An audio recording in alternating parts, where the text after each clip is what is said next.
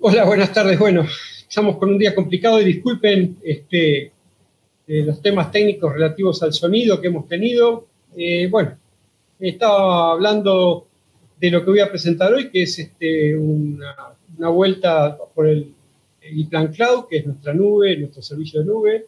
Eh, lo que decía anteriormente es que normalmente muchos usuarios que no están acostumbrados a operar sobre nubes tienen un cierto temor por el cómo se opera, cómo se maneja. Y Plan Cloud es, la verdad, es un producto muy sencillo basado en, una versión de OpenStack, que es un software este, tipo código abierto.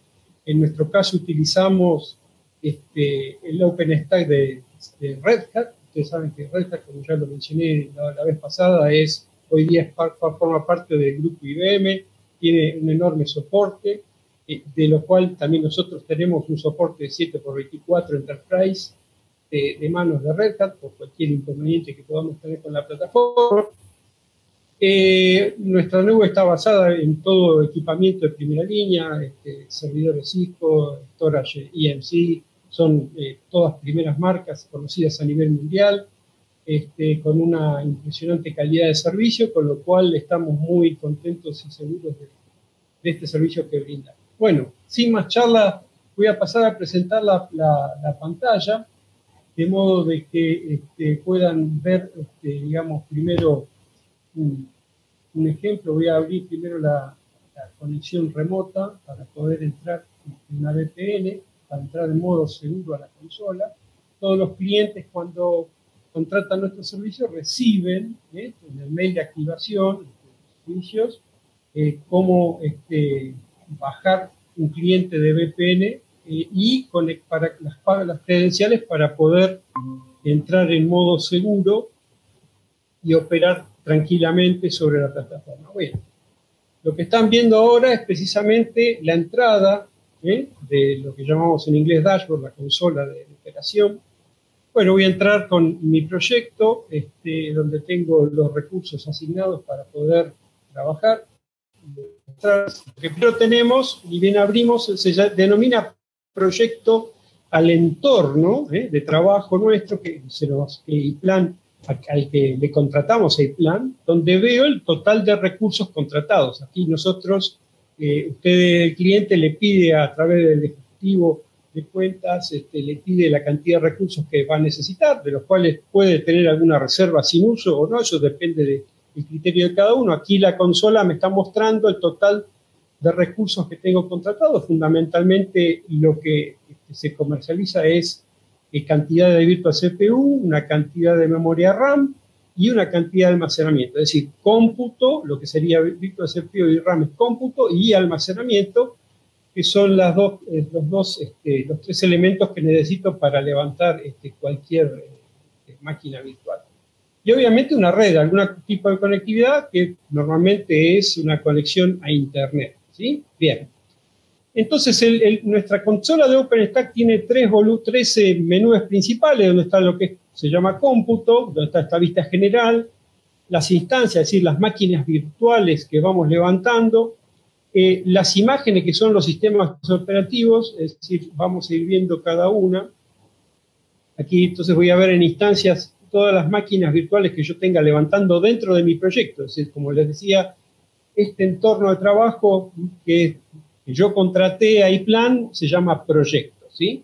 Es este, este, ambiente que es exclusivamente mío y, es totalmente privado y no, no, lo, no se ve, no es visto por ningún otro cliente.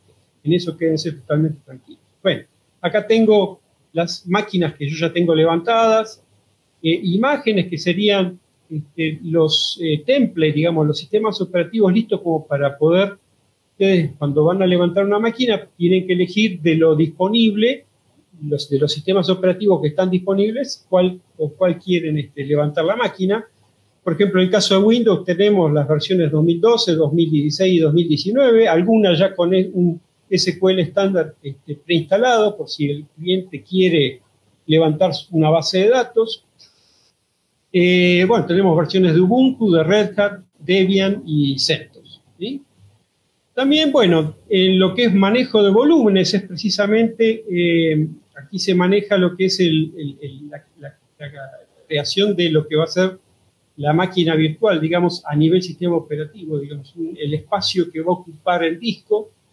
Eh, normalmente lo que decimos a los clientes es por un tema de buenas prácticas, es que crear el volumen desde aquí con un nombre que sea representativo a la, máquina, a la, instancia a la cual pertenece. Es un tema de buenas prácticas. Les pueden dar el nombre que ustedes quieran, pueden poner, crear su propia convención, este, pero bueno, nada, es una buena práctica crear el volumen desde aquí con algo que tenga sentido a la máquina virtual que, va a ser uso, va a ser útil ese, volumen. ¿no? Bueno, si yo aquí en este momento ya aprovecho y les voy a mostrar, voy a crear un volumen para una máquina virtual que va a ser del sistema operativo Windows 2019. Eh,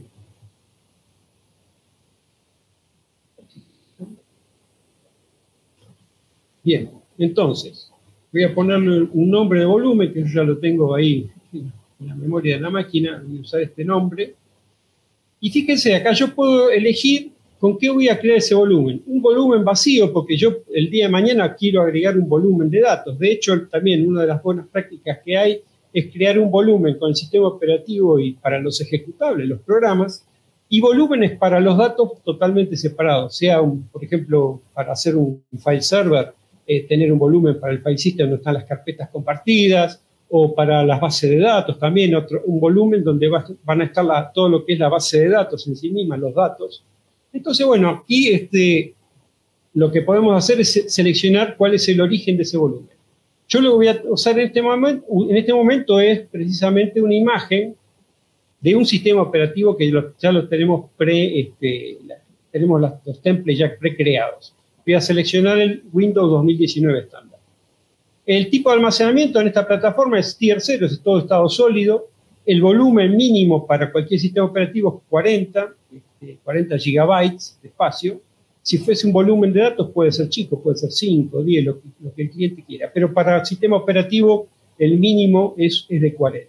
Bien, con esto, listo, ya genero y empiezo a crear el, el volumen este proceso puede tardar en el orden de los 4 o 5 minutos más o menos. Yo lo voy a dejar, voy a usar para, para, levantar la máquina virtual, voy a usar uno que tengo ya creado, que es el, este que tengo acá, que les estoy apuntando, que se llama este, Volt 2000, eh, W2019 MB6, y ya lo tengo creado con anterioridad para no perder tiempo este, mientras se crea el, el MB5. Simplemente esto lo mostré para que entiendan cómo es el proceso de creación de un volumen. Lo que es el menú, siguiendo con el menú en volúmenes, tengo las instantáneas. Aquí es donde yo puedo tomar lo que se denomina los snapshots, es decir, tomar una fotografía, digamos, de un volumen determinado, que puede ser un sistema operativo con sus ejecutables, que queda como una especie de, como un modo de backup. Es decir, yo puedo después rápidamente por ahí, en un caso de destrucción de, la, de mi máquina, puedo recuperar este, a través de esta instantánea, este, este snapshot, eh, puedo recuperar la máquina gracias a esa fotografía que obviamente tendrá, será, este, tendrá los ejecutables o todo lo que yo haya hecho en, este, en base a la última fotografía. Si yo voy actualizando sistema operativo o ejecutables, conviene ir borrando estos snapshots y crear tomando uno nuevo para tener siempre la versión lo más actualizada posible. Después tenemos otro menú que es el menú de red, fundamentalmente empieza con un, mapa de la topología, está algo, un gráfico muy interesante que nos muestra, este, lo tengo en forma pequeña, así, o en forma normal, con un poco más de detalle. Esto es todas las redes y todos los elementos que yo tengo en juego dentro de, dentro de mi proyecto. ¿eh? Es decir, tengo una red de Internet, es decir, normalmente se contrata el cloud con una red de, acceso, con un acceso a Internet, y adentro tengo redes privadas que yo puedo ir creando las que necesite y dándole a lo que llama la topología a mi proyecto como, como, como demande este, mi negocio, digamos, ¿cierto? Bien. Normalmente se entrega este, el, Internet ya con este, este router creado que, es un, que funciona como NAT Gateway, es decir, eh, lo que va a hacer este, este dispositivo es eh, dejar navegar todas las máquinas que yo tenga, todas las instancias que yo tenga creadas sobre esta red privada, en este caso de color naranja, que están conectadas internamente a ese router, ese NAT Gateway, todas esas, las petitorios, digamos, toda la, navegación que quieran hacer esas máquinas que están en una red privada, no tienen una IP pública por ahora, es decir, yo las creo con una IP privada, eh, van a navegar a Internet a buscar lo que necesitan, por ejemplo, bajarse parches, software, a través de este router, ¿sí? La otra, esto eh, obviamente no tiene visibilidad, las máquinas están totalmente protegidas. Si yo quiero que una máquina sea vista en Internet, bueno, ahí dispongo de la red, la red de Internet me dan unas IP públicas que son, este, son propias del proyecto y no van a ser inamovibles. Eh, tengo, en este caso, tengo ocho IPs asignadas, de las cuales me quedan cuatro utilizables. Y de esas cuatro yo tengo una fija y tres flotantes. Esas tres flotantes que siguen son, son, son, son, son mías, no me la va a quitar nadie. El nombre flotante significa que yo le puedo instruir a ese, a ese router, digamos, este, se lo asigno a una de las máquinas, una de esas IP flotantes, y el router empieza a representar a esa máquina en Internet con esa IP pública. Es decir, que este router va a ser el encargado de resolver este, toda la salida y entrada que tenga esa, esa, máquina a través de la IP pública flotante. La máquina sigue estando en una, red privada, pero está siendo, se deja, deja ser vista con la IP pública gracias a la gestión de este, este dispositivo. Entonces, eh, luego lo que nos queda también es un tema importante que es yo voy a exponer una máquina a Internet eventualmente y necesito también establecer con los puertos que van a ser vistos. Por ejemplo, si voy a tener un servidor web, tengo que tener habilitado el puerto 80. Si quiero que esa máquina sea vista con escritorio remoto, tengo que tener abierto el puerto de famoso protocolo RDP, que es el 3389, si mal no recuerdo. Entonces, eso lo gestionamos con lo que llaman grupos de seguridad. Los grupos de seguridad es precisamente el instrumento del OpenStack para poder, que también está es, algo muy común en, todas las redes, ¿no? Es decir, con esto, este, esta herramienta determino qué puertos eh, se abren o se cierran de la conexión de la máquina. Normalmente tenemos este, este, este grupo de seguridad que se llama default, que lo que permite es salir a navegar a las máquinas a Internet y el retorno de esa navegación. Es decir, por ejemplo, la máquina pide a Microsoft bajar parches, ¿sí? Tiene que salir a Internet, lo tiene que dejar salir libremente y tiene que permitir el retorno de, la, bajada del parche. Bien, entonces este grupo de seguridad, que es el default, que eh, aconsejamos siempre a los clientes que no lo toquen, que no lo, no lo modifiquen, que lo dejen así como está, y generen, si necesitan otros grupos de seguridad, generen otro grupo de seguridad con los puertos que necesitan. Por ejemplo, miren, yo acá tengo creado un grupo de seguridad que le doy el nombre GS, justamente como para tener una, guía rápida del nombre, eh, que me diga qué es lo que hay adentro, GSRDP. Precisamente es un grupo de seguridad que lo único que hace en este caso es abrir el puerto 3389 del protocolo Remote Desktop Protocol, es decir, para permitir utilizar los escritorios de remoto de un servidor Windows. ¿sí? Bueno, Dicho esto, voy a crear, eh, con el volumen que yo ya tenía creado, voy a crear una nueva, una máquina Windows, ¿sí? Este, vamos a ir a las instancias. Y aquí voy a dar lanzar la instancia. Lanzar la instancia es crear la instancia. Fíjense, acá le voy a dar el nombre. Basándome en el nombre del volumen, mi máquina también se va a llamar W2019MB5, ¿sí? Perdón, MB6 es lo que voy a usar. Este, Marcelino, digo, una descripción, algo que diga Marcelino Demo, algo que me diga qué es la máquina, ¿sí?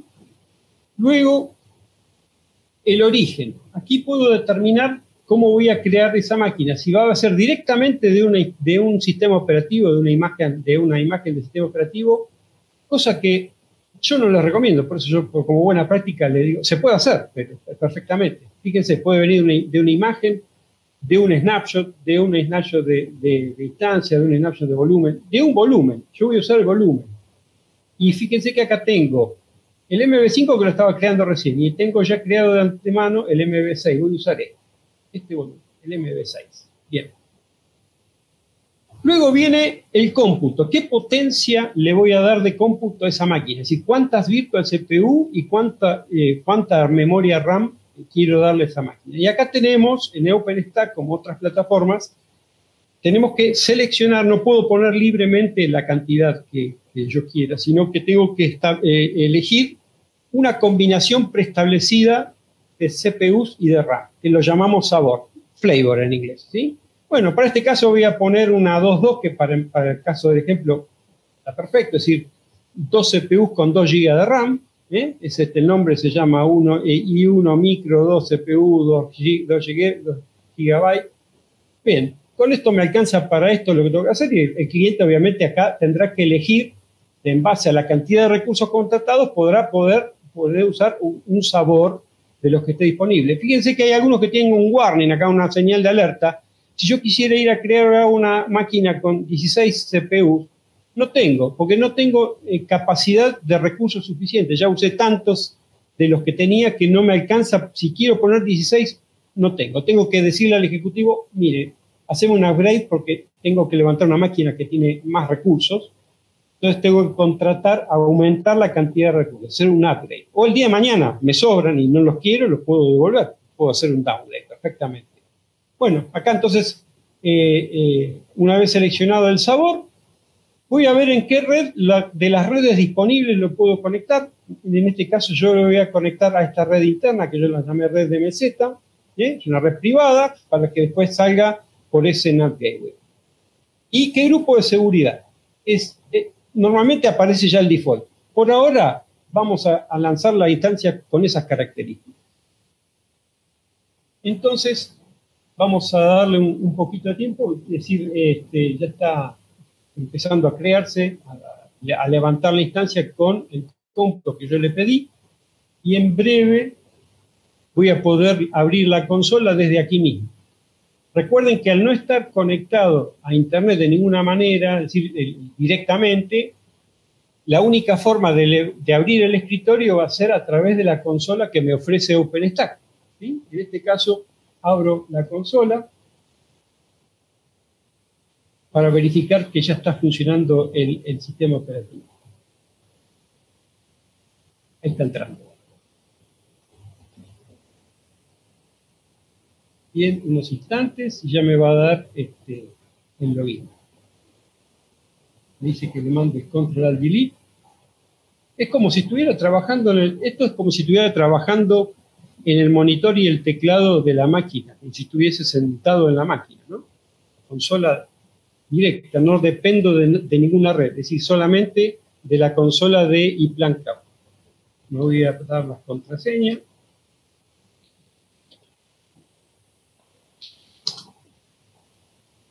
Bien. Está entrando. Ok, esto es lo más eh, eh, básico. Ya tenemos en marcha un servidor Windows en, pocos minutos. Y bueno, en este caso, ahora lo que viene, de lo que vendría es temas de administrativos propios del sistema operativo. Eh, bajar los parches, entrar a, hacer configuraciones, instalar el software del cliente. Eso, bueno, ya escapa un poco al temario que tenemos hoy. Bueno, lo que voy a hacer ahora es eh, darle un IP flotante para poder acceder eh, remotamente. Eh, uno de los temas fundamentales que se dio a partir de la pandemia de, muchos clientes, muchas empresas, es la necesidad de trabajar remoto. Es decir, antes trabajábamos en la oficina, eran todas PCs locales, este, y, bueno, ¿y qué pasa? Es decir, ahora tenemos que trabajar remoto, se hace difícil mantener los servidores en las oficinas, eh, o, si este, no tienen un, buen data center armado, inclusive tienen el riesgo de que se les caiga, como les pasa mucho, ¿sí? porque les cortan la luz al, edificio, no tienen condiciones adecuadas para esos servidores. Entonces, bueno, justamente levantar los servidores de las empresas en, una nube donde está con servicio totalmente ininterrumpido, con un este, nivel de un acuerdo de servicio de más allá del 99, 99,99%. Bueno, es un, ambiente ideal como para poder trabajar remotamente. Entonces, eh, justamente esto es eh, la ABC de toda esta historia, es decir, levantar un servidor Windows y darle visibilidad, aunque sea con remote desktop, para poder trabajar sobre ese servidor. Bueno, esta es justamente la problemática que se han enfrentado muchas empresas y que hemos estado este, vendiendo y cotizando y vendiendo en, estos este año y medio que llevamos, casi año y pico de pandemia. ¿sí? Bueno, me voy a desconectar de aquí, de la consola, y voy a darle una IP eh, privada, pública, para poder acceder a, a esta instancia, a este servidor virtual, desde afuera. Entonces, voy a instancias nuevamente.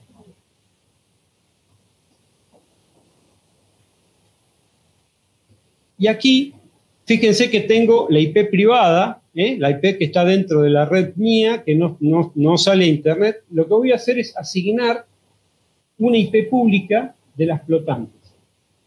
Eh, asociar IP flotante, La primera, la primera opción del menú, asociar un IP flotante. De las que yo tengo asignadas en el Internet que contraté, bueno, voy a utilizar una de ellas para que este servidor sea visible en Internet. Bien, le voy a poner la 35. Asociar.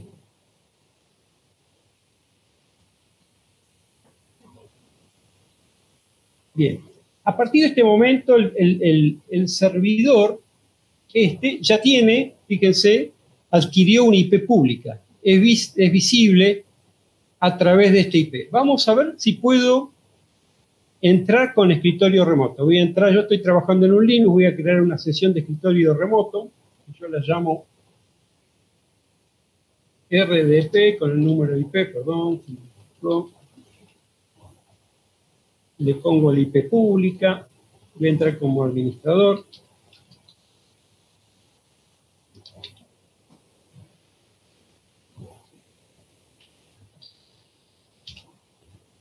Listo, guardar y conectar. A ver si entra. Fíjense que no está entrando. No está entrando. ¿Por qué? Porque no le di el grupo de seguridad, no le abrí el puerto para entrar con RDP. Es decir, la máquina, aunque yo la publiqué, la publiqué en internet con esta IP pública, no se puede acceder porque tiene todos los puertos cerrados. Entonces tengo que ir de exprofeso a asignarle un grupo de seguridad para que pueda ser vista. A ver si lo tengo. Y editar grupos de seguridad. Solamente le había dado el default, que es lo que tenía. Entonces es este que tiene asignado ahora. Le voy a dar mínimamente el que yo les mostré de RDP para poder acceder. A ver ahora. Así, abierto, ya le, supuestamente ya se abrió el puerto de RDP. Y debiera poder entrar remotamente a través de un escritorio remoto. Veamos. ¿Ven? Ahí cambió. Ahora sí. Ahí me está pidiendo que acepte el certificado de seguridad. Vamos a escribir la password.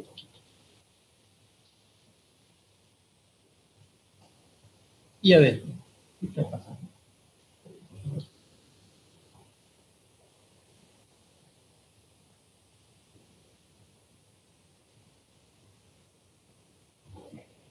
he tenido un problema con la página. Ah, no, perdón, con el nombre de usuario. Ahora sí. Ok, ahí estoy adentro con mi escritorio remoto. Bien, esta es una de las formas más básicas y, y rápidas de poder levantar este, un Windows con escritorio remoto. Obviamente la cantidad de usuarios concurrentes tiene que ver con, después con un tema de licencia, que ustedes cuando solicitan el plan, este, si quieren tener un servidor con varios usuarios concurrentes, bueno, este, o bien eh, normalmente ya le piden al ejecutivo, mira, dame el servidor Windows, pero necesito que entren, no sé, 10 personas simultáneamente a trabajar sobre ese servidor. Ok, entonces eh, eh, a través de un convenio que tenemos con Microsoft, las licencias van en forma mensuales, como abono mensual. O sea, no tiene el cliente, no tiene necesidad de andar comprando licencias, tampoco de Windows Server ni de SQL Server, es todo mensualizado, ¿sí? con precios bastante muy, muy accesibles. Bien, esta es una forma de, trabajar. ¿sí? Lo que también hay otra forma que se puede eh, hacer que es instalando algún software y acá este, hay un software que me permite, este, un software que está usando muchos clientes, lo están usando, es un software privado que permite armar una Global Area Network que se llama Zero Tier. Lo voy a usar como ejemplo porque la verdad está muy bueno. Igual les tengo que leer este, lo que es una, letra chica que, tengo que decirles respecto de este software, porque al no ser un software de iPlan, este, bueno, los software de terceros que utilizamos en esta demostración no cuentan con nuestro soporte ni recomendación alguna por parte de plan y se utilizan meramente como ejemplo, quedando la utilización de los mismos bajo la exclusiva responsabilidad del cliente y sujeta a las licencias o términos de uso de los propietarios de dicho software. Es como la letra chica, vieron que le, cuando van a las promociones en la radio, que yo se las leí despacito para que la entiendan. Bueno, tengo que decirlo porque nosotros no damos soporte sobre este producto y lo estoy usando como ejemplo. Eh, sé que se usa en muchos casos, inclusive es un producto que tiene una versión pública y también tiene una versión con soporte, es decir, clientes que lo utilizan en forma este, productiva, con mucha cantidad de, estaciones, este, y permite justamente enlazar este, equipos de todo tipo, de toda naturaleza, Linux, Windows, Mac. Bien. Lo que voy a hacer es instalar ese software para poder entrar remotamente.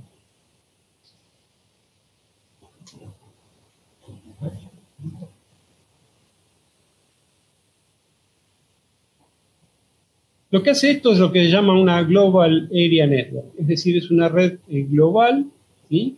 donde uno puede ir instalándole agentes a las máquinas y a través de esos agentes se conecta, se conectan este, entre sí. Bien. Bueno, ya se conectó. Yo tenía una red creada, se las voy a mostrar la consola de este, de este producto. Está, está interesante fíjense, pero tier tiene un registro, obviamente, usuario y power para poder administrar. Yo utilizo las credenciales de Google.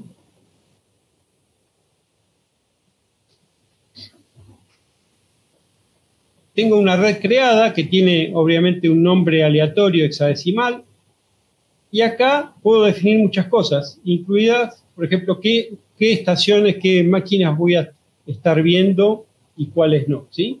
Este, bien, en este caso, yo acabo de crear una, ¿sí? Y está conectada. La IP que me dio es esta 103. Veamos si está aquí. Es esta. Ok. Bien, esta, IP también la puedo usar para conectarme. Lo que voy a hacer primero es para, nada más para demostrar cómo estoy entrando con esta red, voy a sacarla a la máquina de la IP pública. Es decir, yo le había dado una IP pública para acceder directamente, pero ahora la voy a, desasociar la IP flotante. ¿Para qué? Para entrar por esta red. Y fíjense que voy a entrar igual estando dentro de una red privada.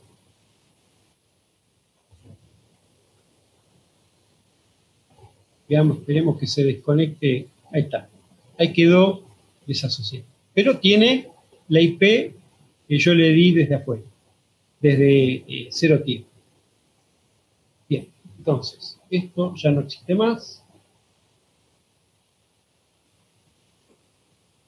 Vamos a conectarnos con otra sesión distinta.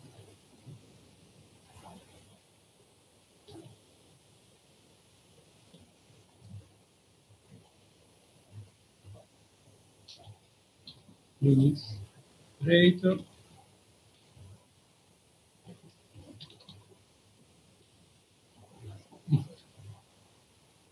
Ahí está. Ahí está pidiendo el certificado a través de esta, IP. Y estoy, acabo de ingresar a la misma máquina, pero ahora fíjense que la máquina está dentro de una red privada, está atrás de una gateway y sin embargo se acaba de, de conectar igualmente, estoy trabajando igualmente con esa máquina. Este, es interesante, la verdad que hay muchos clientes que lo están usando. Nada, este, es una, opción más. Bueno, esto ha sido todo por hoy. Es decir, la idea, el propósito era precisamente llegar a este, a este punto, digamos, de demostrarles la, fácil creación de un servidor Windows con escritorios remotos y cómo acceder a ellos de, dos, de diversas maneras. En este caso, este, a través de directamente del RDP expuesto en una IP pública o bien a través del software de un tercero. Eh, también hay otras formas, ¿no es cierto? Obviamente podemos tener un firewall o un terminador de VPN que puedo haber creado. Eh, más adelante se lo voy a estar mostrando. Yo tengo acá creado en esta red, eh, tengo casualmente un Linux creado con un OpenVPN Server que me, brinda una forma más de poder acceder a todas las máquinas que están en esta red privada. Este Linux tiene un OpenVPN Server y me permite abrir un túnel contra esta red privada. Bien, eh, obviamente también tenemos la posibilidad de instalar Firewall en OpenSense, en este caso, es otra topología distinta, es otra alternativa más. Pero bueno, no los quiero tosigar. Eh, nuevamente, este, hoy por hoy estamos, estamos lindo con esto, bien con esto que estamos presentando. Eh, vamos a seguir este, con otras cosas, distintas charlas que vamos a ir teniendo. Este mes también vamos a hacer algo similar, a esto, pero sobre la nube de Huawei Cloud. Eh, entonces, bueno, les pido que estén sintonizados, que no me dejen solo y así vamos, este, vamos este, viendo distintos casos de uso de distintas nubes. ¿sí? Bueno, les agradezco eh, su atención. Eh, disculpen las desprolijidades iniciales, bueno, son temas técnicos que nos superaron un poco hoy, pero ya estamos este, nuevamente en, el camino. Acá les dejo un, un, este, un una, un URL, perdón, vamos a ir a la este, un code para que puedan crear una, una, digamos, una cita, una, llenar una encuesta y una cita. Si necesitan eh, asesoramiento o alguna cotización de parte nuestra, eh, los contactará un, ejecutivo de cuentas y eventualmente también podemos participar alguno de nosotros de, Unidad de Negocios IT para asesorarlos, para eh, prepararles una, propuesta técnica económica que, que esté acorde a lo que ustedes están buscando. Bueno, nada más, me despido. Muchísimas gracias por la atención y nos vemos prontitos. ¿sí? No me dejen solo. ¿eh? Gracias. Chau, chau.